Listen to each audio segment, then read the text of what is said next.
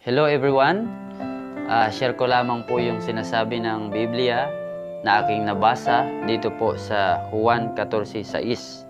Ang sabi, sinasabi sa kanya ni Jesus, Ako ang daan, ang katotohanan at ang buhay. Sino man ay hindi makakarating sa Ama kundi sa pamamagitan ko. So mga kapatid, hindi pala tayo makakarating sa Ama kundi tayo dadaan kay Jesus. At si Jesus pala yung daan papuntang langit.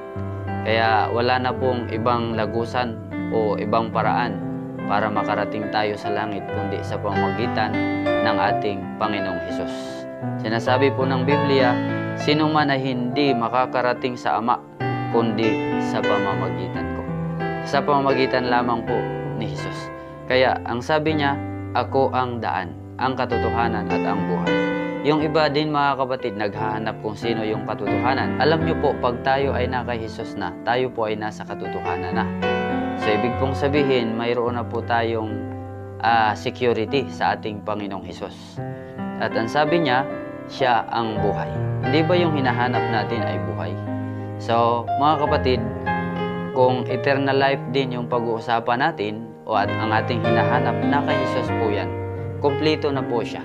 Siya pa ang daan, siya ang katotohanan at ang buhay.